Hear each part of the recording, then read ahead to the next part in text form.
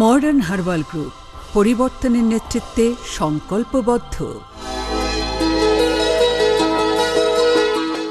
Modern herbal group আছে সারাক্ষণ।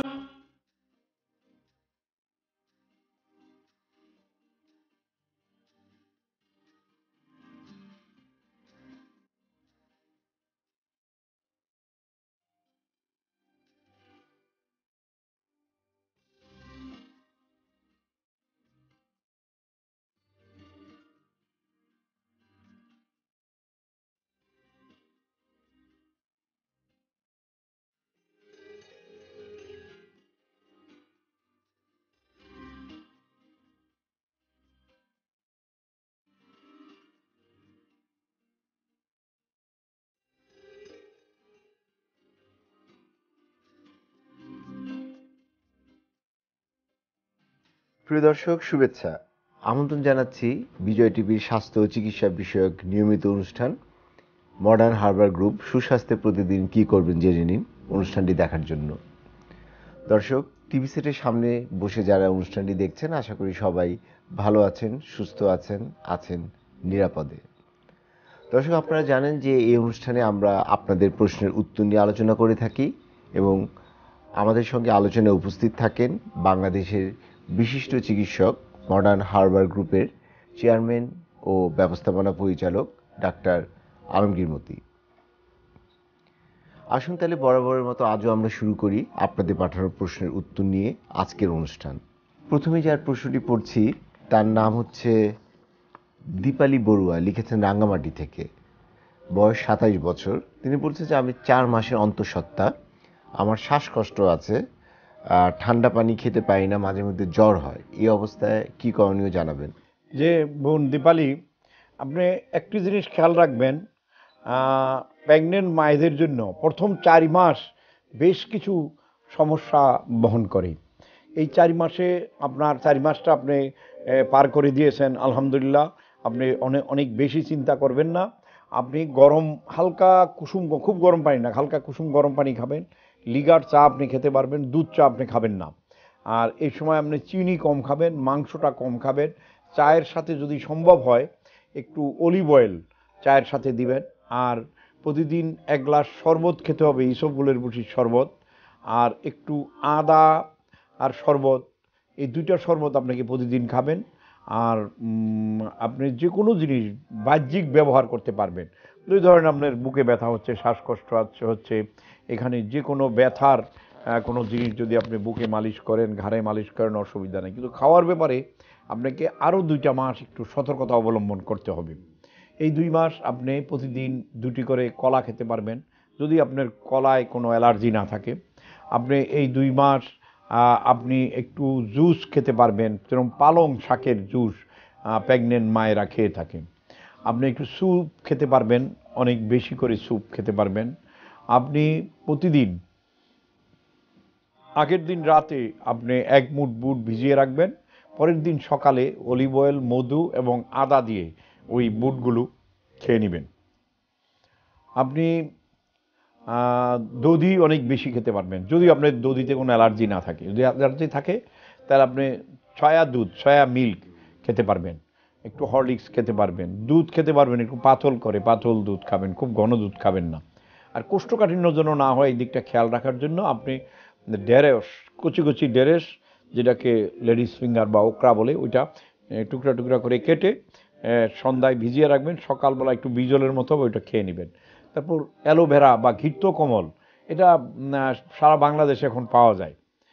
ওইটা একটু ভেঙে কয়েকটা টুকরা করে সন্ধ্যায় ভিজিয়ে দিয়ে সকালে খেতে পারেন বা সাথে সাথেও এটা শরবত করে খাওয়া যায়।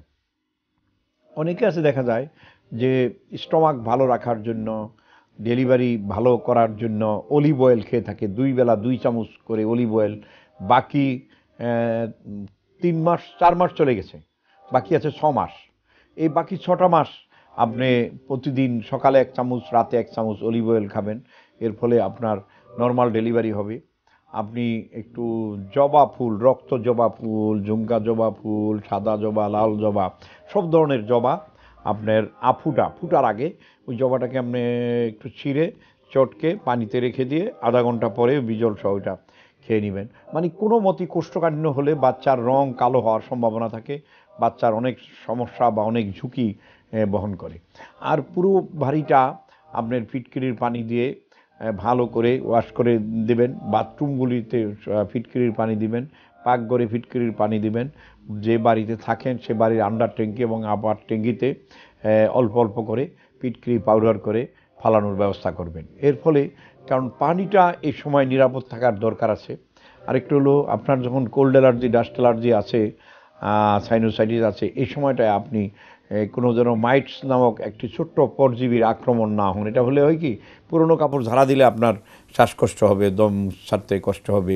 কার্পেট, মশারি, চাদর তোষক, বালিশ, ল্যাপ, খাতা, যত কিছু আছে, এগুলো এখন উঠিয়ে ফেলবেন। এখন তো আপনি গরম এসে গেল, বসন্ত এসে গেল, এখন এগুলি সব বদল করে শুধু আপনার যদি দরকার হয় একটি কটনের হালকা চাদর। আর আপনি এই বাকি ছটা মাস কটনের কাপড় চোপড়, সব একশো পার্সেন্ট কটন কটন কটন সব কটন কটন ব্যবহার করার চেষ্টা করবেন। সর্বত্র আপনার ব্যবহারের জায়গাগুলিতে আপনি কোনো পলিস্টার, অ্যাক্রিলিক বা পলিমার্ট এই জাতীয় ফাইবার দিয়ে কোনো কাপড় চোপড় না পরলে খুব ভালো করবেন। কটন আপনার বাচ্চার জন্য ভালো করবে। আরেকটা জিনিস হলো, আপনি যদি সম্ভব হয়, তাহলে আপনি একটু বার্লির শরবত একটু সাবুদানার শরবত দিনে দুইবার, বাকি ছয় মাস রেগুলার খাবেন। সব কিছুর ভিতরেই একটু অলিভ অয়েল বেশি খেতে পারলে ভালো হবে।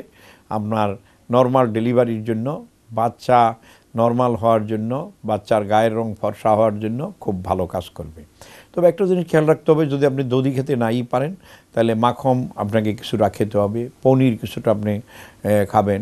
একটু একটু করে ঘন ঘন খাবারগুলো আপনি বেশি ঘন ঘন খাবেন, একটু বিস্কিট খেলেন, একটু লিগার চা দিয়ে আপনি একটু রুটি খাবেন, একটু সয়া মিল্ক বাজারে পাওয়া যায়, সয়া নাগেট পাওয়া যায়, সয়াবিন একটু খাবেন। আর আগের দিনের ভিজানো বুটটা সকালবেলা মধু এবং অলিভ অয়েল এবং আদা দিয়ে খাবেন। মুখের ভিতরে সব সময় একটু আদা রাখবেন, তাহলে বমি ভাবটা থাকবে না, নার্ভাস সিস্টেমের প্রবলেমটা থাকবে না।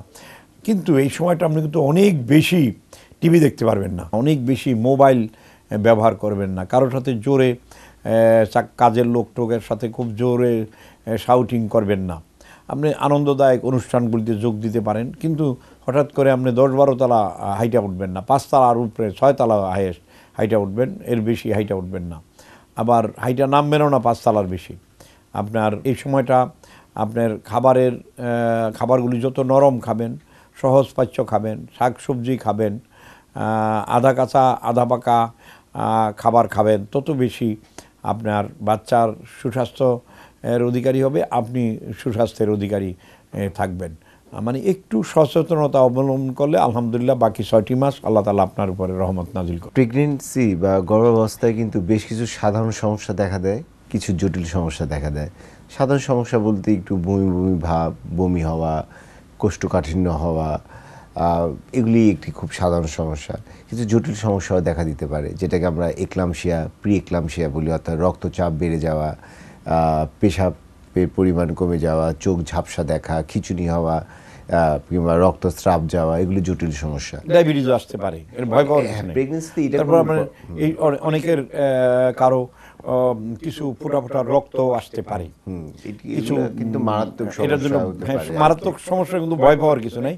এই সময় তাড়াতাড়ি শুয়ে পড়বে এবং মাজার নিচে বালিশ দিয়ে মাথার বালিশটা সরাই দিবে। আলহামদুলিল্লাহ আর একটু একটু হালকা কোল্ড যেহেতু তার কোল্ড অ্যালার্জি আছে খুব গরম পানি খেতে পারবে না। একটু নর্মাল পানি এই ঘন ঘন খাবে। তবে একটি জিনিস আপনি খুব ভালো গুরুত্ব ইয়ে করেছেন সেটা হলো যে গর্ভাবস্থায় অনেকের কিন্তু ডায়াবেটিস দেখা দেয়।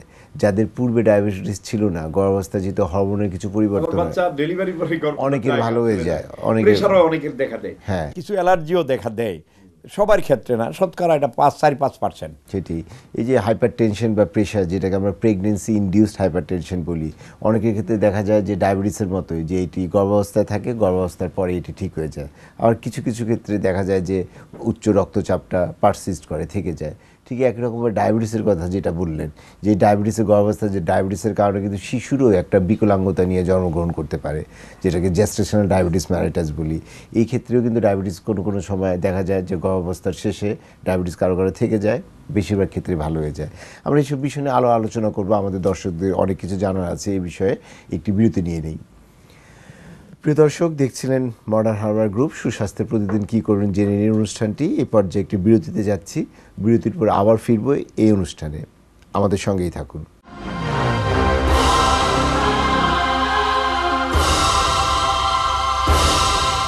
মডার্ন হার্বাল গ্রুপ পরিবর্তনের নেতৃত্বে সংকল্পবদ্ধ